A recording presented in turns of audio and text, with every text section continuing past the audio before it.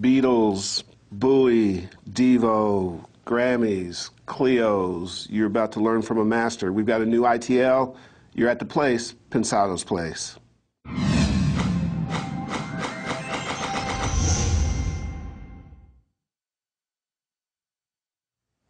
What's up, guys? Man, it's been a good week. Wait, wait, wait. Will you please say yay? I did. No, you didn't hear. Say it again. Yay. Okay, good. Um, I'm confused. Am I supposed to say it now? We'll work out the timing in practice. Losing time for Ken Scott. Golly, I've lost my train of thought. Um, uh, it was a good week. It was? Yes. What made it a good week? Man, uh, thanks for that, Herb. That was really genius. Uh, my, my, you guys remember Bobby Owsinski was on the show a few weeks back, and Bobby invited me to do a podcast with him. It's called Audio Now Cast, and uh, I had a great time. It was like eight engineers, all from different different uh, genres. Gen- genres Very good genre. genres, and um, we just had a we just had a great time. Rob Arbiter, Mike Mike Rodriguez was the moderator. Bobby, of course, was there. Uh, Scott Gershon, Gershon, Diego Stocco, uh, Brandon Bernstein, and Bobby Summerfield. Um, if you get a chance, look that up. Um, I think I think I think you'll learn a lot from it. Especially you'll learn some alternate ways to earn a living with these skills that we're imparting to people. Good deal. Um, as usual, let's say hello to our Vintage King family. Hey, Vintage King family. We've got Jason Cropper. He is in the chat room. Has Jason been there before? No, Jason's brand new, and you can see his information up on the screen. Jason's all stud like posing in his picture. All right, Ask- Jason, ask- welcome. Ask, ask, ask Jason how to determine the difference between a 550A with the cool op amp and a, and a fake. That's a good question for Jason. That should get him started. And Jason is in the chat room. It's Which is Man by, of course, our man Drew Adams. Say hey, Drew. What the deal? Okay. Ebonics 101. the- the- Man, Drew did a remix. It's incredible. You gotta hear this. I, I understand he did. Um, let's get our homework stuff out of the way because we have such a great guest and a new ITL. There's our homework page Facebook, Twitter, YouTube, you know that. Also, don't forget, go to our website for more information and other stuff, and we're going to be doing some interesting there, things there. That's pensadosplace.tv. You see that going by on the screen. Now we got our homework out of the way. We got a new ITL. We got good stuff. Why don't we get to it? ITL? Yep. Um, man, ITL this week is self-explanatory. Uh, I've, I've just been using a couple pieces of gear that I just wanted to share with you. Um, I mean, this, this is an unpaid endorsement with these things, but um, I found them both kind of unique and both kind of cool. So, Will, you want to run that?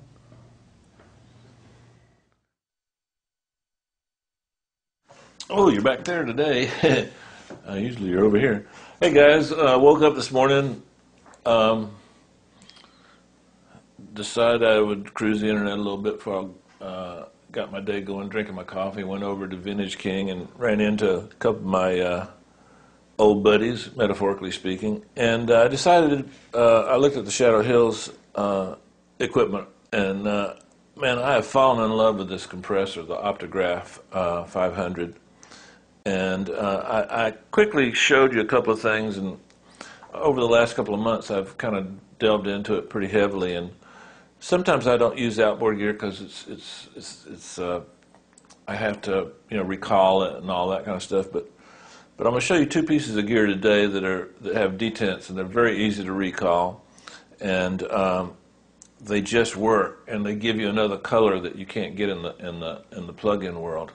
Um, so let's start with the Shadow Hills. Uh, I'm going to play uh, a Snoop vocal that I mixed from my buddies uh, Addis and Monster Blocks. I've got these guys on uh, the outboard gears on a hardware insert, but depending on what equipment you're using, it- it'll be pretty much the same. Uh, I'm, gonna- I'm going to use this little section here. Ladies love Snoopy Deagle Dub. I rock to get enough. You got to give it up. I'm here to play. Enjoy your day. Hey. Ladies love Snoopy Deagle Dub. Okay, so I'm going to take this compressor off. Now, I, I'm taking a little bit of Ladies love Snoopy Deagle Dub. I rock to get enough. You got to give it up. I'm here to play. Enjoy your day. uh, on another passage, it's, it's taken out a little mid range. Here's my Shadow Hills right here. And uh, de-esser just knocking off a little bit. Tiniest bit of EQ up here, 1 dB. Let's just leave that for now. That's more repair EQ rather than make it sound good EQ. Um, I've got uh, on output 1, I've got the left side of the Maag EQ. It's not in, it's bypassed right here. And the Shadow Hills is bypassed right there. Let's let's start with the Shadow Hills. Let's start with the Shadow Hills. Ladies love Snoopy Deagle Dub. I rock to get enough. You got to give it up. I'm here to play. Enjoy your day. Hey. Ladies love Snoopy Deagle Dub. I rock to get enough. You got to give it up. I'm here to play. Enjoy your day. Hey. Ladies love Snoopy Deagle Dub. I rock to get enough. You got to give it up. I'm here to play. Enjoy your day. Hey. Ladies love Snoopy Deagle Dub. I rock to get enough. You got to give it up. I'm here to play. Enjoy your day. Hey. Ladies love Snoopy Deagle Dub. I rock to get enough. You got to give it up. I'm here to play. Enjoy your day. Hey. Ladies love Snoopy Deagle Dub. I rock to get enough. You got to give it up. What we've done is we've taken some of the little louder parts and we've trimmed those back a little bit. And then we've taken our gain and we've made uh, pull the gain up. So now it feels like Snoop's just more in your face, and we're getting a little bit of color from the transformers. This thing has very expensive transformers. Uh, it's, it's an opto uh, detector circuit. Uh, LA2As. There's several compressors that do this, and all of them give you a, a color of their own. And um, um, I happen to like this color because it has a more modern vibe to, to, to, to it than some of the older gear. But uh, check this out. We'll do some ABs. Ladies love Snoopy Deagle Dub. I rock to Sal? get enough. You got to give it up. I'm here to play. Enjoy your day. Hey. In. Ladies love Snoopy Deagle Dub. I rock to get enough. You got to give it up. I'm here to play. Enjoy. Okay. Now, one thing we can do with this, uh, and, and I, I, I think it's going to sound better. We can in the detector circuit, uh, the the circuit that the compressor makes a decision about when to do its compression. We can insert a, a filter, um, a high pass filter. So uh, Snoop's got a little low end. Let, let's let's have a little bit less of that in his voice. Um, control the compressor. Check this out. Ladies love Snoopy Deagle Dub. I rock to get enough. You got to give it up. I'm here to play. Enjoy your day. Hey. Ladies love Snoopy Deagle Dub. I rock to get enough. You got to give it up. I'm here to play. Enjoy your day. Hey. Ladies love Snoopy Deagle Dub. I'm doing it at 150 hertz, so everything below 150 hertz is not controlling the detector. Uh, I, I- I'll grant you that it is a little bit subtle what you're hearing, but uh, uh, it's not so much what you're hearing that you can learn from, but the concept of using that in the detector circuit you can learn from. Um, I, I love that. So let's let's start with that. Now, there's another circuit that, that's fairly unique to this. Um, he calls it a, a desaturate circuit. It gives you, think of it this way without getting too technical. It gives you the best of the tr- of, of, of, of the sounds of the electronics, like the transformers, but it doesn't give you the negative elements. So this is without it. Ladies love Snoopy Deagle Dub. I rock to get enough. You got to give it up. Ladies love Snoopy Deagle Dub. I rock to get enough. You got to give it up. Ladies love Snoopy Deagle Dub. I rock. I hear it mostly in the high frequency information, the clarity of that. So I'm gonna I'm gonna do one time without it. Then the second pass will be with it, and, and on both passes focus on the high frequency information, the S's, that sort of stuff. Ladies love Snoopy Deagle Dub. I rock to get enough. You got to give it up. Ladies love Snoopy Deagle Dub. I rock to get enough. You got to give it up. Ladies love Snoopy Deagle Dub. I rock to get enough. You got to give it up. I, I, love what that adds. It, it's it's subtle. It just helps me understand the, the vocals a little better, and it helps me. Um, I don't know. I just like it, man. Believe me. All right, now let's play with a little bit of EQ. Okay, we'll leave that in, and we'll put uh, we'll put the EQ after it. Ladies love Snoopy Deagle Dub. I rock to get enough. You got to give it up. Okay, there's some nasalness going on there. Um, I'd like to have a little bit of clarity on the very top end, and I'm hearing a little bit of mid range I don't like, and there's something on the low end that's bothering me. So let's attack it. Ladies love Snoopy Deagle Dub. I rock to get enough. You got to give it up. Ladies love Snoopy Deagle Dub. I rock to get enough. You got to give it up. Ladies love Snoopy Deagle Dub. I rock to get enough. You got to give it up. Ladies love Snoopy Deagle Dub. I rock to get enough. You got to give it up. Ladies love Snoopy Deagle Dub. I rock to get enough. You got to give it up. Ladies love Snoopy Deagle Dub. I rock to get enough. You got to give it up. Ladies love Snoopy Deagle Dub. I rock to get enough. You got to give it up. Ladies love Snoopy Deagle Dub. I rock to get enough. You got to give it up. This is without- Ladies love without the 2K. Dub. I rock to get enough. You got to give it up. Ladies I'm love taking a little bit of 2K Deagle Dub. I out, rock two to get enough. You got to give it up. Ladies love Snoopy Deagle Dub. I rock to get I'm enough. taking a You little bit got of to give it 600 up. out. Ladies love Snoopy Deagle Dub. I rock to get enough. You got to give it up. Ladies love Snoopy Deagle Dub. I rock to get enough. You got to give it up. Ladies love Snoopy Deagle Dub. I rock to get enough. You got to give it up. Taking out a little bit of 100. Snoopy Deagle Dub. I rock to get enough. You got to give it up. Ladies love Snoopy Deagle Dub. I rock to get enough. You got to give it up. Ladies love Snoopy Deagle Dub. I rock to get enough. You got to give it up. Ladies love Snoopy Deagle Dub. I rock to get enough. You got to give it up. Ladies love Snoopy Deagle Dub. I rock to get enough. You got to give it up. Ladies love Snoopy Deagle Dub. I rock to get enough. You Okay, I'm going to try something. I'm going to exaggerate the EQs so that you can hear the frequencies I'm working with. The boost, I'm going to boost more. The cuts, I'm going to cut more. Okay, let's try it. Without it. Ladies love Snoopy Deagle Dub. I rock to get enough. You got to give it up. Ladies love Snoopy Deagle Dub. I rock to get enough. You got to give it up. So uh, I think that was instructive. You saw where I was boosting a little easier, and you saw where I was cutting because obviously in the mix we, we do it a little more subtle.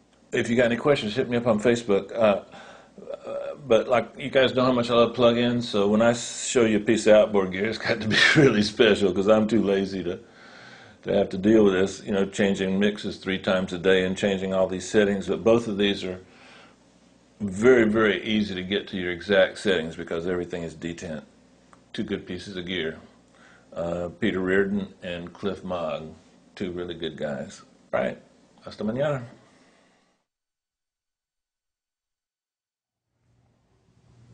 Hope you got something out of that. Um, like I said, uh, uh, like I do every ITL, transcend and, and, and just use it as concepts that will apply to a lot of things. It, uh, some of the things I showed you aren't specific to that compressor or that equalizer. I just wanted you to see how uh, I used a couple of pieces of gear. By the way, uh, I was told not to say this, so I'll say it anyway. Um, I was cruising around the Vintage King website, and uh, I think they got a couple of demos that you might want to check out the price of on those if, if you're interested. But um, man, Ken Scott is our guest today, and um, um, it, it's a real pleasure for us to get get to spend some time with him. Uh, not only has he done a lot of your favorite records, but if you name an artist, he did their coolest records. I don't, we'll have to find out how Ken was was able to do that. I mean, he just doesn't have a dog on his resume, unlike me. Um, but Ken, welcome and thank you so much for I'm being so, here, I'm man. Uh, so it's- pleased to be here. Welcome aboard. Finally. Very cute. I, I, I can't wait. I got a million questions, and uh, and I've got a hundred answers. and uh, he's got this thing of GOM. We'll, we'll figure out GOM Oh, later, Herb. yeah. Okay. Let's just jump right into it, man. Um, Epic Drums. uh, uh, Have you been working on that most of your adult life? It That's seems quite like an it. undertaking. I mean, just Yeah. the level of people that are helping you with this, and and Explain what it is. It, it's computer software, basically drum drum software, uh, which I got together with five drummers that I've worked with in the past. Woody Woodmansey from from Bowie Spiders from Mars, Bob Siebenberg from uh, Supertramp.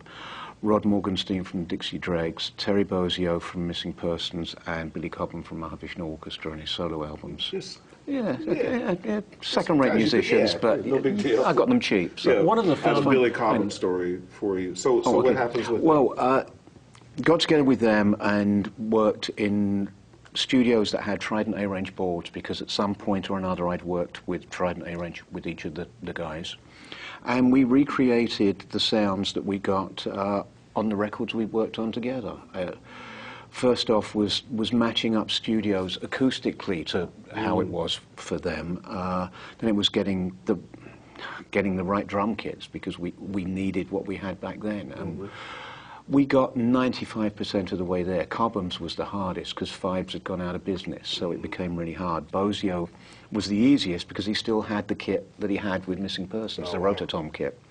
So they were the, the originals. Then it was getting the same mics, which were costly these days. And when in the studio, we had them play along with the record, and they matched up the sounds. Then we just had them play along with the record so that we could get them get grooves from the record, like two or four bar, bar grooves that people can use. Then we just had them jam, so there's there's more stuff there. Wow. Uh, so it's it's available with it has the, the sample sounds for anyone that uses electronic kits or just programming that way. And there are grooves with it, all in multi-track uh, format. Wow, amazing. And uh, yeah, it's been tough. I bet. Long time. Yeah. Guys, uh, I'm gonna take a look, quick second here. Uh, Ken did uh, Magical Mystery Tour for the Beatles and the White Album. He's got some. Google his name. He's got a great story about Ringo Starr working on back in the USSR. Jeff Beck Truth, which was an album that changed my guitar playing life. The coolest of the Bowie albums, Ziggy Stardust, Duran Duran, their best records, All Things Must Pass, George, George, George. Uh, what, what were you gonna say, Jim? I was, well, with, with uh, Duran, I, I have the unique honour. I, I quite often ha- records I've worked on are quite often in like the top ten or top twenty records of all time, Yes, century, whatever. pretty- pretty but I also happen to have the worst record of all time, uh, according to Q magazine in England, and that was one of the Duran albums. Is that So, right? yes. That's Voted the worst record ever. That's what I love about you, Ken. Only you would bring that It's up. great. I Love that. Uh, Elton John, Man, Man Across, across the Water, Honky Chateau, Don't Shoot Me. Oh man, a record that, that, that that's a little more on the obscure side that I, I kind of changed me for a little bit was Lindisfarne. That was a great yeah. record. I, lo- I love that record. It was stra- Some of the that was with musicianship on that. was with Bob Johnston producing, and it was this. One tries to learn from everyone one works with, and with him it was strange because all he did was sat there, and he hardly ever said anything.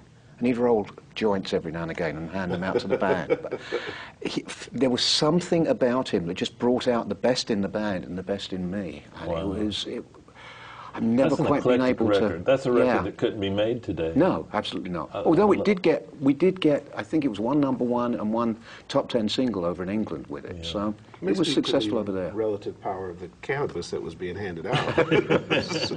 Well, it's, it's Pavlovian. You, you do good, you get a joint. Yeah, I didn't need to speak smoke. I didn't smoke any of it, so it doesn't count for me. Why me? but the band was oh yeah. baked. Okay, uh, man, uh, Pink Floyd, uh, Rolling Stones, um, Lou Reed, the Cool album, golly, Walk on the Wild Side. I mean, I got a million questions about the bass parts on that. Um, I mean, Stanley Clarke, Level 42, Devo, uh, Supertramp. Supertramp, a lot of people have, have missed those records, but those are, those are some of the most well-crafted records ever in the history of music. There was a, um, there was a freedom and a lack of corporate involvement on those records that I'm not sure we could ever make In- in- records like that again. Interestingly enough, that was the f- that the crime of the century was the first time I'd ever actually sort of had a member of a record company come by during the recording, mm. and it, it was pretty terrifying for us because we, for whatever reason. I don't know what was going through our heads at the time, but we decided to, to be very careful right from day one. And like I spent a day and a half, I think it was the first day and a half, just getting the drum sound. And it continued that way. And two, two weeks in, we'd got basic tracks down, but no overdubs yet and all that. Suddenly we get a phone call from A&M that Jerry Moss, the M of A&M, is in town Absolutely. and uh, wants to come by and hear what we've done. And we oh, Oh, crap, God. no. Because records back then were being, the complete thing was Oh, done in two weeks. I mean, yeah, it was, it was two, and so he came down and uh, we played him what we had. And in typical record company fashion, he gets up at the end, no smile or anything, just thank you very much, very nice, very nice. And we thought, oh, God, that's it, it's all over. We heard back the next day. He loved it. Yes, anything we wanted, we, we had. So th- yes, there was corporate involvement, but it was the good side of it that Mm. gave us the freedom, which was great. Guys, I'm not going to spend a lot of time with the anecdotes because uh, Ken is his. But please tell any you want, dude. I love them. I live for these. Um, uh, we'll stay here till the electricity runs out. Uh, but um, uh, he's got a book coming out this summer, early summer, called uh, Abbey Road to Ziggy Stardust. No, Ab- Ziggy- Ab- Abbey Road to Ziggy Stardust, recording Ziggy, the Abbey. Beatles, Bowie, and all that jazz. Yeah, and, and, it's, and it's, I'm told that it's just it's just packed full of, of anecdotes. If you love the artists that I mentioned earlier, I'm, I'm pretty sure Ken has included incredible stories. Uh, hopefully today we'll have, have time to hear the, the, the Ringo Starr quitting story. I love that story. But, but um, one of the things I like about you is your, your concept that analog digital there's 52 cards in the deck and you're going to play poker use them all don't Yeah. don't say aces count for you but not for me and and and you're you're very comfortable in, in both worlds and you just pick and choose whatever you feel is best for the moment It's, that's just so refreshing and, and, and you even made a sentence that that digital is getting to the point where you can kind of get some analogness out of it now well, yeah, you, you can, but th- it's still not all the way there yet. Eventually, it will, in my humble opinion, it mm-hmm. will eventually get to the point where there is no difference. But at mm-hmm. this point in time, there still is. Mm-hmm. There is, for me, there's a harshness to digital that isn't there. There's, that isn't there on analog. The warmth isn't there yet.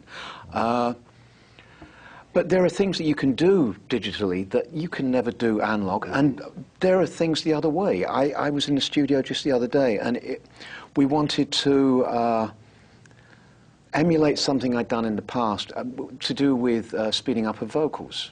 And to get the effect, the actual effect of sl- recording, the, having the tape running slower, recording, and then mm. playing it back faster, so it's more chipmunky. Mm. And it's really hard to do that digitally. Mm. The whole thing of backwards reverb, it's a hell of a lot easier just taking up the tape, turning it over, recording the reverb, and putting it back. You've Pro got it. Tools 10 you can do it now in one step y- oh, you can? Yeah. Oh, okay. Because uh, last time I tried it, it was No, really tough. I- I'm not even sure it's out yet Oh, okay. This, this goes along with your sentence that uh, your concept that modern technology has has made it easier to record, but not necessarily easier to make great music. Uh, expand on that It's, a little it's almost made it harder because people won't make decisions these days. It, it, I grew up. My, my very first sessions as an engineer were on four track, and we had to make the decision right up front that the finished product was going to sound like this because we were mixing together bass, drums, guitars, maybe piano, all on one track, and then just overdubbing from there. We had to decide then and there Pro it was going to be like that. Whereas make no I know. So what happens is that people will go through. Well, I don't think it will work, but maybe we should keep it just in case later on down the line we find a place for it. And then when it comes time to mix, it will take three weeks because you're just sorting, well, does this work? Well, I don't know. Maybe it will work if we have this in. No, it doesn't. Maybe it will work if we have this in. Uh, just, no one will make up their bloody mind. But it's the same, you, it, it's a humankind thing. It's not just Mm-hmm. with making records. You go to a blockbuster or supermarket. How many times have you walked down the aisle and there's a guy on the phone and it's, hey, honey, they've got about 20 different kinds of baked beans. Now, what kind is it I should get? They're goddamn baked beans. Just make a decision and get one. That's the gom, by the way. That's the grumpy old man. It's um, um, I'm guessing here, but a lot of the things, like by the way, there's a great interview with, uh, or actually Ken is moderating a forum on Gen, on Gearslutz, and once again, uh, Jules, uh, kudos to him. It's really excellent. You can learn a lot about how how Ken thinks. Can, uh, tons of little anecdotes about different things. And one of the things I'm noticing from having read tho- that interview is that a lot of the what people would call the negative elements of having to commit and make a decision were things that everybody wanted to know how you did it because they were uniquely wrong at the time, but became the one memorable thing about that record. You know what I'm saying? I'm- wrong is the, is the incorrect word, but but when you commit, you you you you, you learn to work around certain things and, and, and amplify the strengths of it. And, and a lot of the uniqueness of, of your big hits have come from just committing to, to a sound. Well, as I said, back then we were making re- uh, an album in, in two weeks. We had to be complete. Because uh, artists back then, it was two albums every year. It's not the three years that we, we get nowadays. So you only had a short period of time. So you had, apart from anything, uh, just the limitations of four or eight tracks. You, you you didn't have the time. So y- yes, that's good. We're moving on, and there, there is. Because you're doing it so fast and making the decisions on the fly, there's a humanness to it. These these days, it's all on the grid. Everything has to be on the grid, and it loses Click all of the human grids feel. are- No, uh, click tracks are fine. I've used click tracks since uh, Yeah, but you speed about up the early, early 80s. You speed up the that's, choruses. That's you the take, difference. You make your click tracks move. Yes, that, that's the difference because it, uh, the drummer will al- always, in a live situation, speed up when you Guitar come to the yeah when you come to the chorus. We're it adds the excitement Yeah, to we're it, hor- and that's what's lacking when it's just all the same throughout. You miss, you miss humanity. Yes, Just the yeah. Let me ask you this, That's- Ken. and- music and- is human. Yeah, yeah. It, it would be Pens- it wouldn't be Pensado's place without a smart ass question, but in those days, you never thought records would be around in 40 years. You were making records to last six months. Yeah. If you knew that, if you knew then what you know now that these things are being studied and scrutinized 40 years later, would you have committed less? No way. Exactly, the, exactly the I same. knew you were going to say yeah, that. Of course. I wanted to, I just wanted to say that because uh, sometimes when, when I make a commitment, it goes through my mind. This, this could be around to haunt me forever, but screw it. This is It- what I believe yeah, in. but it's it's that thing. We weren't making records, music for anyone else. We were doing it for ourselves, and if other people liked it, that's the icing on the cake. It, it's uh, so if we felt good enough about it that we could live with it, then there would be nothing to change. You've got a, a, a small reputation for enjoying loud music. uh, As, Have I? Yes. Wow. Yes. You like you like monitor kind of loud. I've heard that from some people, yeah. Mind you, once I started to work with Duran and uh, realised how loud John Taylor likes to monitor things, even I had to walk out. It Oh, was wow. unbelievable. Was it But- really? Oh, DEFCON straight four. over, boom, turn it full John up. was the bass player. Yeah. Great bass player. Yeah. Oh, Power Station. God, what a Yes. great group. Did you did you work on any of No, stuff? no. Wow. Um, another thing that you and I have in common is, um, well, man, let's just tell it like it is. I hate demos. Yeah. Um, there's there's something limiting about and insulting about restricting what a, a person with your creativity and, and myriad of ideas that you bring to the party, and all of a sudden you get limited by something that was accidentally put together and has no bearing on reality other than it was around long enough to like. Well, yeah, one of the problems with, with demos is demoitis. Mm-hmm. It's you get so caught up with one thing that's in the demo, and you've got to recreate that. And when you're in the real studio doing the real thing, that's not. It's not always the I way. fall in love And with my own I've- demos sometimes. Yeah. How do you get, But, get rid but of I've, that? I've also gone through a situation with Level 42, the album I did with them. It, that was one of the hardest albums I've ever done because not all of the material was written up front. We'd go in and they would just groove. And once they found something they liked, okay, then Mark King, the, uh, the bass player and singer, he'd then do something over the top of it that he wanted to sing vocally, and then the lyrics would. done. But that whole thing, I, I had no idea what it was going to be in the end. Mm-hmm. And that made it really hard because I like to have some idea of what it's going to be roadmap. going in. Yeah, yeah, yeah. absolutely. So you're just going on the fly. Yeah. yeah, yeah. No, I don't work my best that way. So.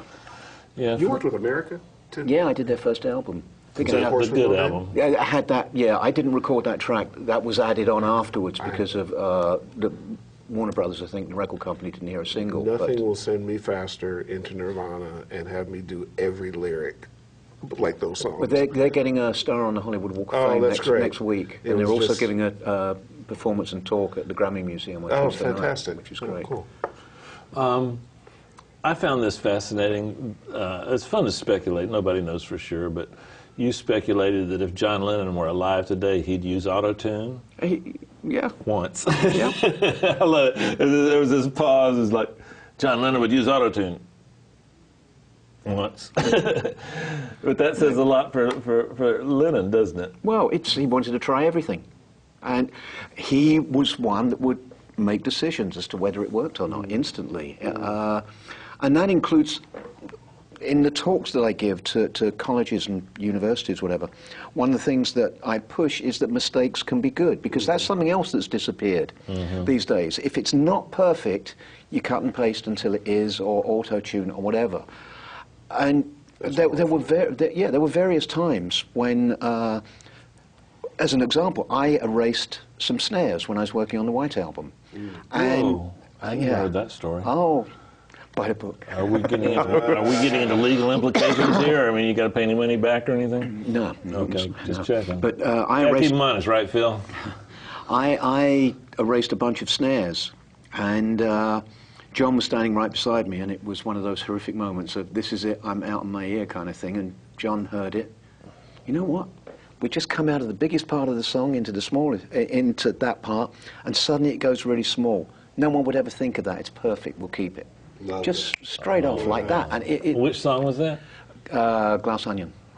Wow.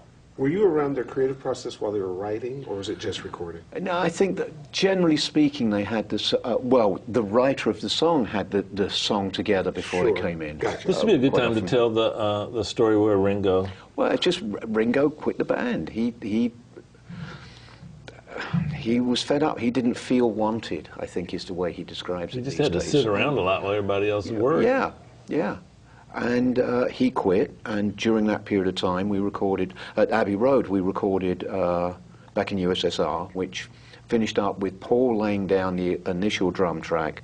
Then it wasn't completely right, so then John and George jointly played The same drums. drum kit at the same time. yeah, One think- played kick and snare, and the other played cymbals. Yeah, Right? something like that. And uh, then we mixed it all together, and that's the final drum track. And uh, Without Ringo. without Ringo, which makes me uh, it, on what is it? Uh, the Beatles rock band or whatever it is. They, they just on the, the picture that they've got for that, there's Ringo behind the drums on it, and he weren't there. Danny. You should have known that.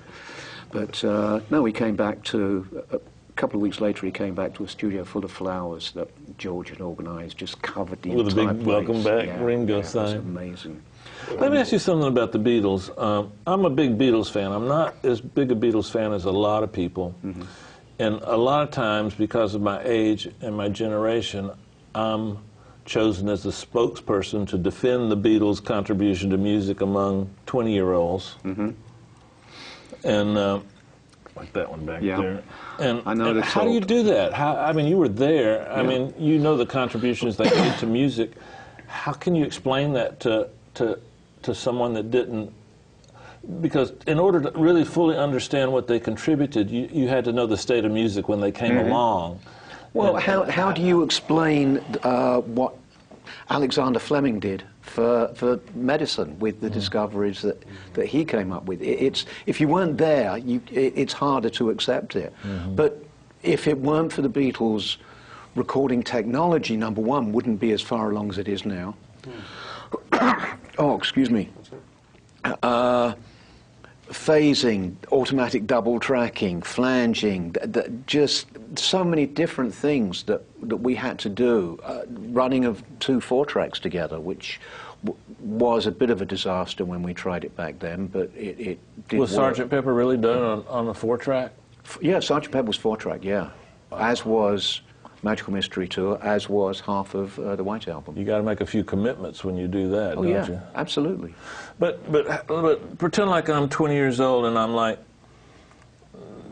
I much prefer what Timbaland does than what the Beatles do. Why should I listen to the Beatles? because radio wouldn't be what it is today to allow someone like that to be played. Uh, probably, I hate to say it, but I don't think black music would be as appreciated as it is today. Uh, I know within, within England, uh, Tamla Motown wouldn't have been as big without the Beatles pushing it. They were Because they shone a, quite- they shined a spotlight on it in a way that had never been done before. Absolutely, and th- their covering of, of a lot of, of black acts and the Chuck Berry songs and all of that kind of thing, they, they push that further forward, at least in England. Uh, there are a lot more very rich pop stars thanks to what went on with the Beatles, with merchand- merchandising being given away and all of that kind of thing. That no one knew about that really. Elvis to a point, but they what happened with the Beatles with all of that kind of thing just it went up.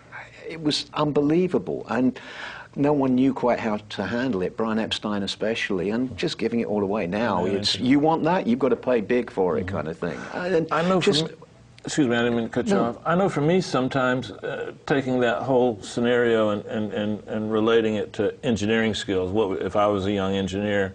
What would you tell me that I should I, I, I I owe the Beatles? And, and and for me, sometimes when I I'm not blessed with a very clear reference in my head. So sometimes when I'm working on a song or a mix, I have to listen to something and kind of get my bearings mm-hmm. again, and then I go, okay, I see what I'm, I see my flaws now, and I find myself using a lot of their recordings as the essence of what something should sound like. Like their piano sounds, for example, especially the piano at Trident, which had that. Oh, that was probably the world's greatest piano with more hits than anything.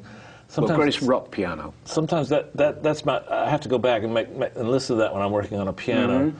Their string sounds prior to that were or, orchestral, but they used them in a rock context. They made rock string parts. Yeah. And, and just on and on and on. Um, some of the drum sounds uh, hold up for me pretty good. Some of them don't. No, but what you, what one of the the great things about them, you're you're saying possibly without even thinking about it, but they're constant changing Yeah, of things. That, yeah.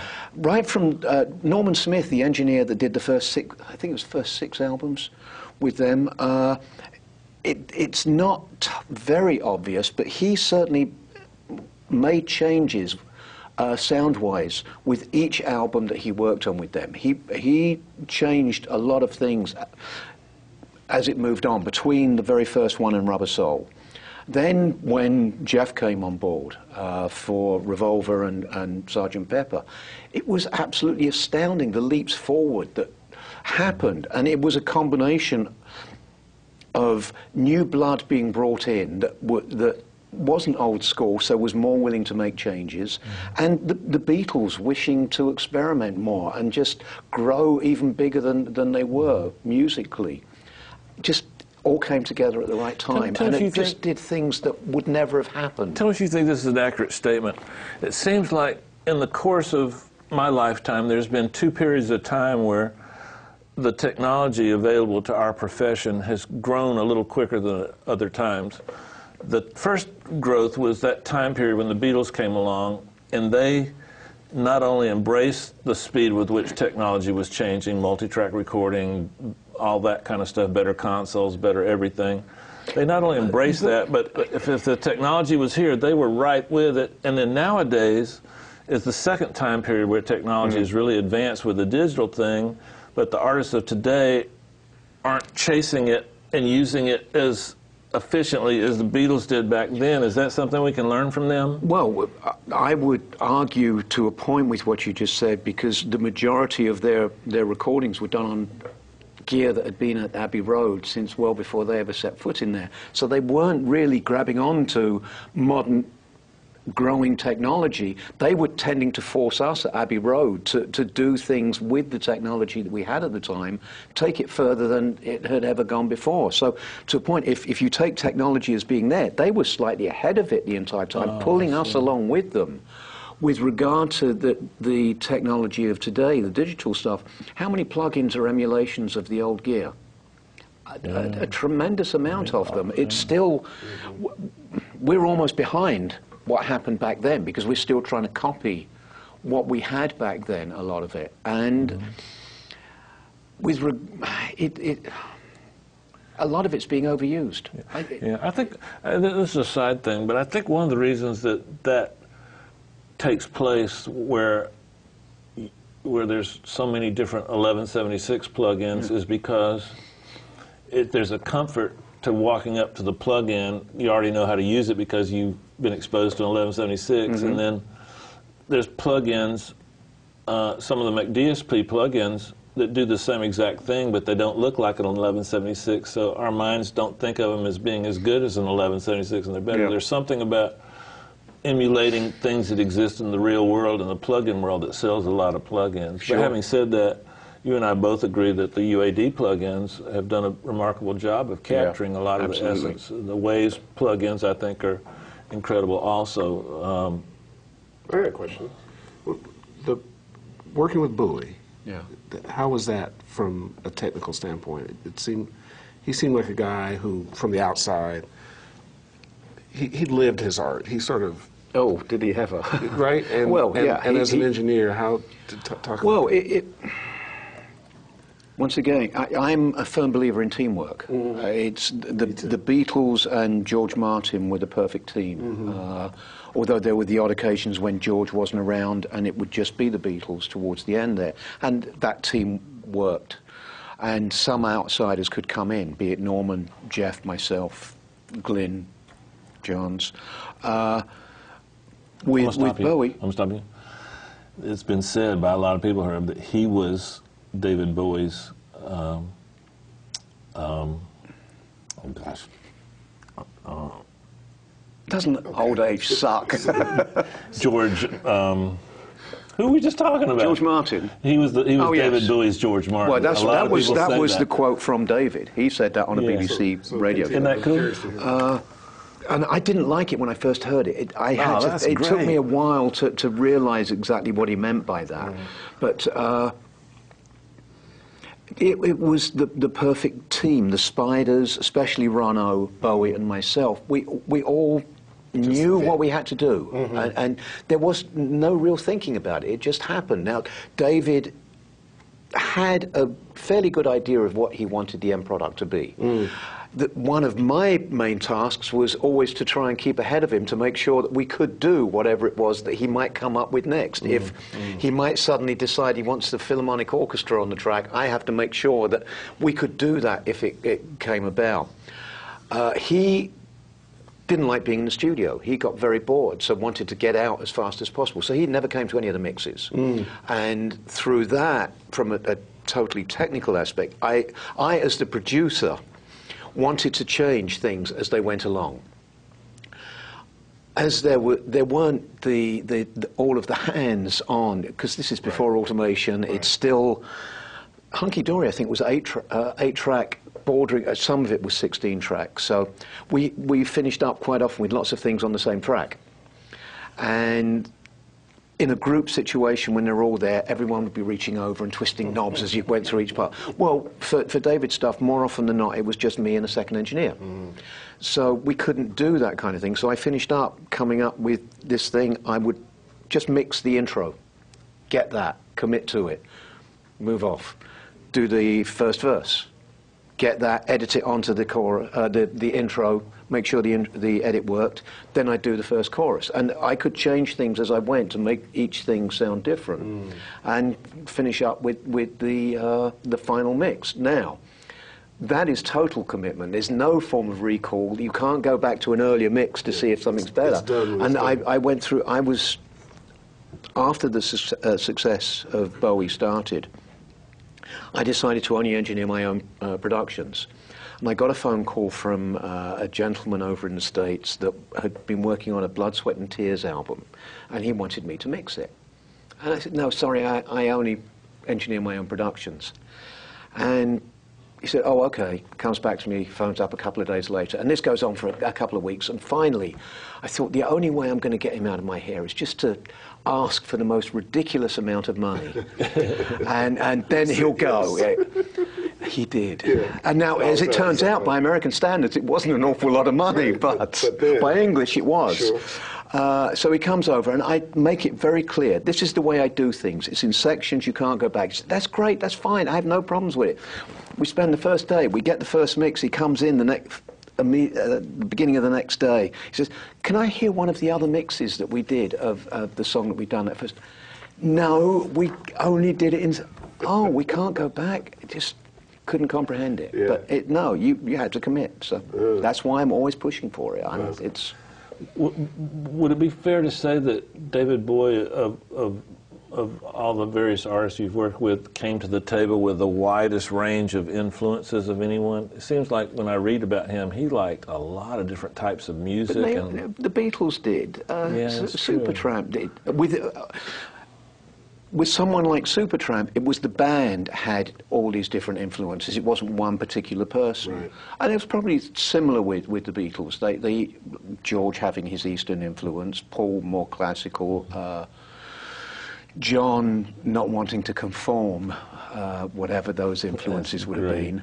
Uh, so no, they, they, they always seem to, if, if you're going to be original, you've got to take from lots of different places. That's one of the things that scares me today with regard to radio. It's so f- formulated to, to one genre of music. Uh, if you want to hear heavy metal, you go to this particular station and all you hear is that. So the kids that are growing up, they're listening to only what they like to hear. And how far can you take that? If you, if you can add classical to hard rock, it, it may make something different, but they're never listening to the classical to be able to add to that. So it's not going to grow. And it's the same in all the genres. England it scares had, a, me. had a, a tremendous advantage over us in that regard because you had BBC. And because radio, was so crappy. we had no choice. But it, man, the, the, the, the music that it produced from, from, from, from that was just just after the war. Just after the, it's the, the early baby boomers. It was amazing over there, the talent that's come out. It, it, I'm gonna tease you a little bit. How has getting bored easily made you a better mixer or a better engineer? Because you get bored pretty easily. yeah, I, it, Has that made you a better engineer? And how? Should I be getting bored more often to be as good as yeah, you? I, I think I think it's it's made me better in as much as uh, I'm always trying to learn. But I think anyone would do that, whether they get bored or not. It, it's given it's made me go from from one type of music to another one and not keep. I hate. I couldn't stand working on the same kind of music day in day out. I've I've had to go from a pop album to Mahavishnu Orchestra to uh, something complete, just jumping around like mad. You know how there's a group of people in this world that try to find every flaw in the Bible? And considering that you're one of the great prophets of audio, I've got a problem. I mean, the Trident A range is your favorite EQ, and your frequency that you hate the most is 200, but you can't reach 200 with a Trident Mm-hmm. A range. it's, how it's, do you do it's, this? it's just round. What is it? It's 240, 250. 250. That's close enough for me. Come on, Ken, what's up with that? It- Shouldn't you choose an EQ that, that you can? First of all, why do you hate 200? It never did anything know. to I, you. I, I, oh, but it does constantly. I don't know. I just, I, I've just found, for me personally, if I roll it out there I, and add a bit lower down, I prefer the, the bass drum sound or the bass sound with that. I- all kidding aside, I get a lot of questions about how to make the kick drum work with the bass and, and get all the elements in the low end part of the spectrum to work together. Is that could that be considered a secret of yours that you I have no secrets. that uh, a technique of yours that that somehow your your lack of interest in 200 helps you get some of the some of all that working together? Maybe. I, I Would I you do- I take do 200 everything out of a kick and a bass at the same yeah, time? Yes. I, I, I have been known to. I don't always. Or, generally speaking, with the kick, I will do it. Sometimes with the bass, not always. But it, for me, there are no hard and fast. I'm a creature of habit. Yes. That being said, there is there's also no hard and fast rules. It, I, I do what comes naturally to me, and I'm, I'm I have seen engineers that. Uh, they try and keep everything secret. When they're in the midst of a mix, they'll cover all of their EQs up so no one can come in and see it.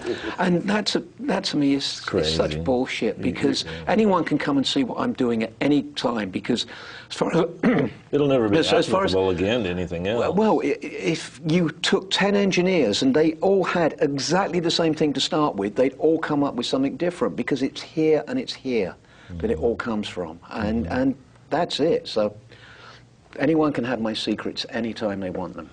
Good luck to them. you did that inhale like something's supposed to happen here. Batter's box is coming up after this next question. Oh, great. Um, I better make it a good one. Let me see what I got left, Herb. I was working at Abbey Road. Oh, yeah? I'm not saying how was it? Oh, it. how was it? Sorry, I thought you said I was thought he said I was working. Yes, that's what. I thought. like, I heard. I go there It- tomorrow. It, was, No, it, it was the most amazing training anyone can possibly have, as far as I'm concerned. They, It was a converted house. yes, it was built eight, early 1800s, and then EMI took it over in 1930 and, and changed it into a studio. We built everything, uh, built number one studio in the garden and all of that kind of thing. But just getting to work with, with basically six incredible engineers, three, three pop, three classical, getting to watch how, how they worked.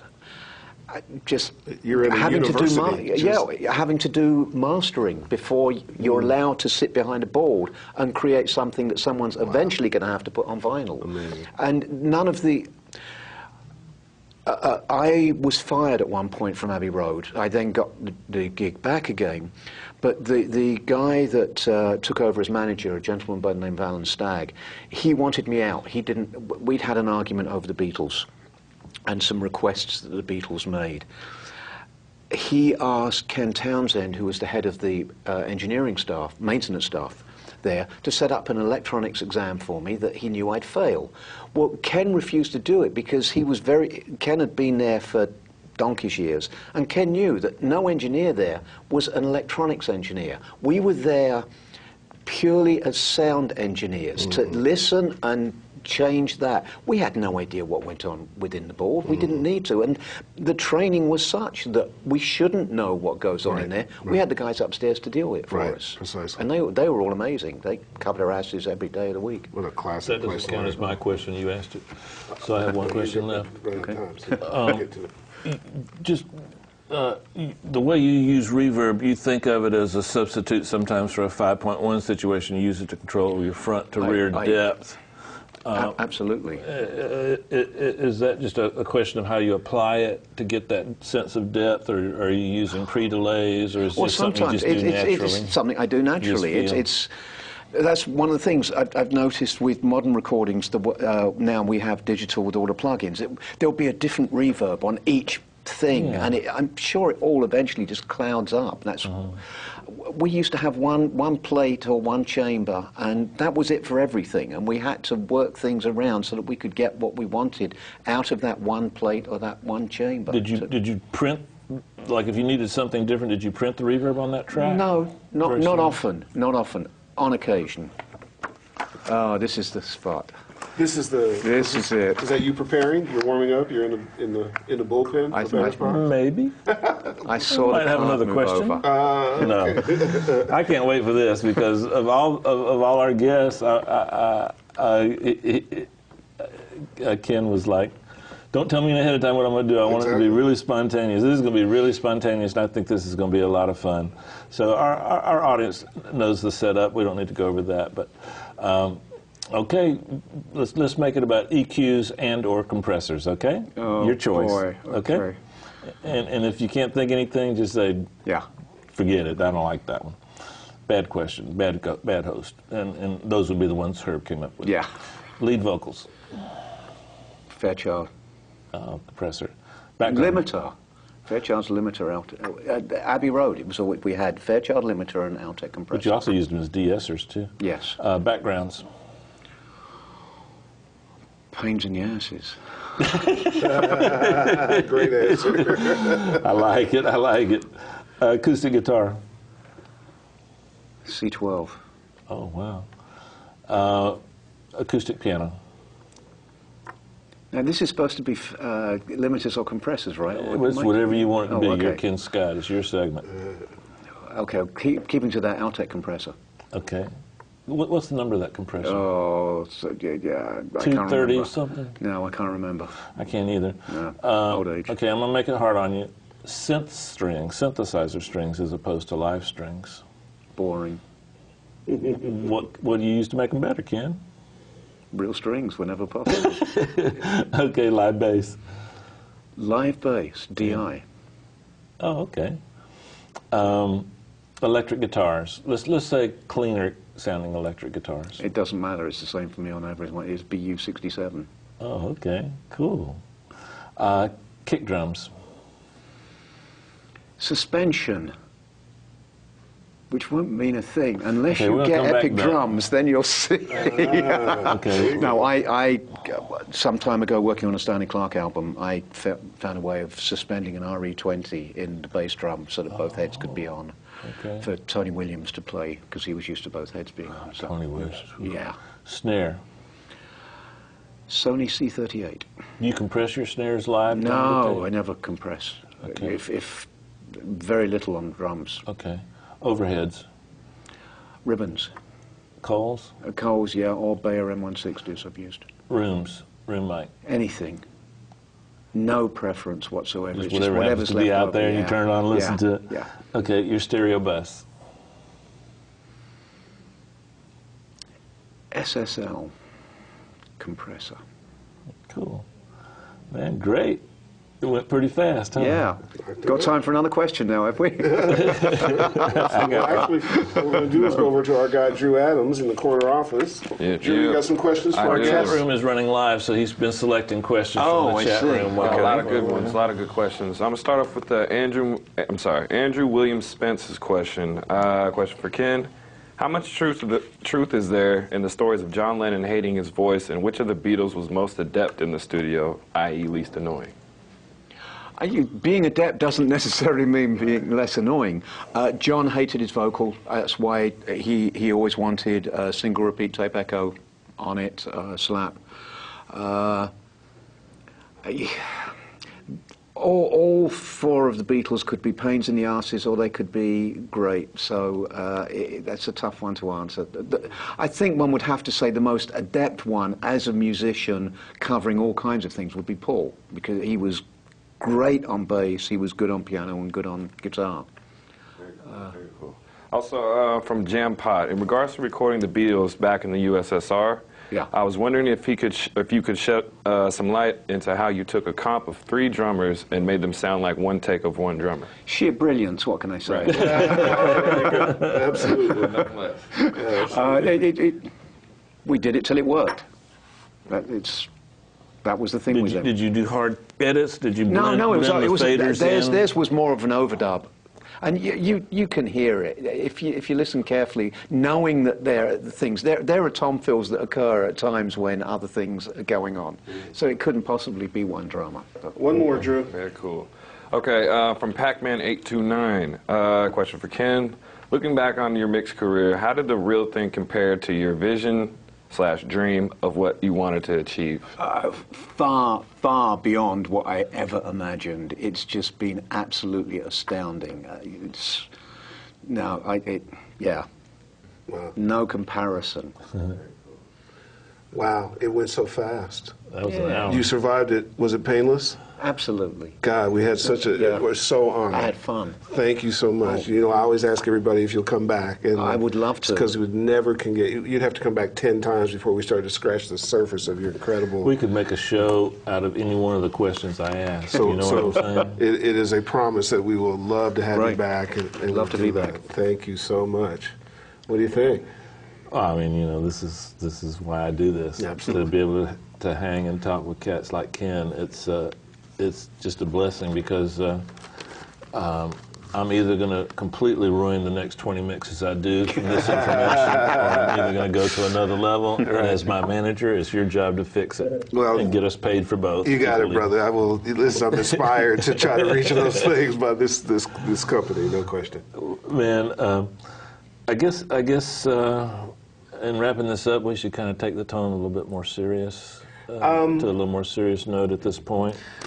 Um, yeah. You want me to do it? Yeah.